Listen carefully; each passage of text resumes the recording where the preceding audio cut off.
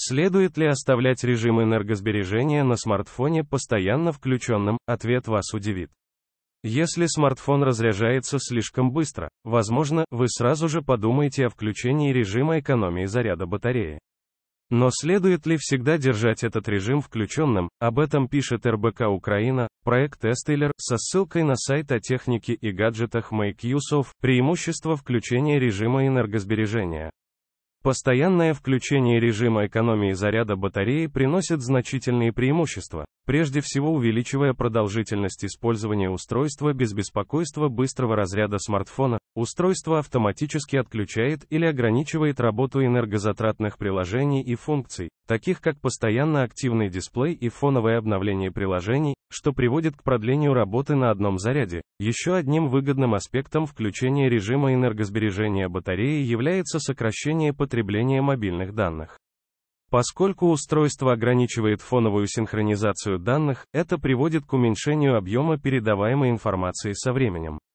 Это особенно полезно при ограниченном тарифном плане на мобильную связь, недостатки включения режима энергосбережения.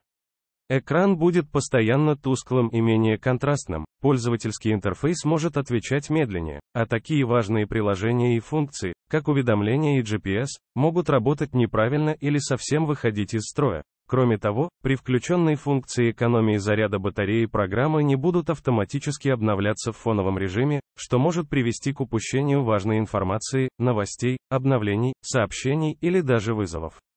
Существует также риск проблем с подключением к интернету или другим устройствам. Однако, как выяснилось, снижение общей нагрузки и скорости потребления энергии может оказаться даже полезным, поскольку позволяет остановить быструю разрядку аккумулятора и снизить нагрузку на устройство, когда следует включать режим энергосбережения.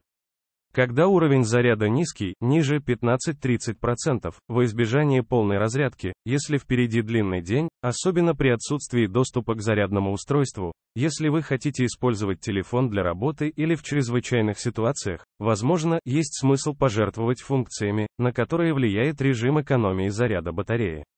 Это означает, что вы сэкономите заряд и сохраните только необходимые программы и функции. Ранее мы писали о 10 советах, которые помогут продлить жизнь батареи вашего смартфона на базе Android. А еще у нас есть материал о том, что убивает батарею вашего телефона.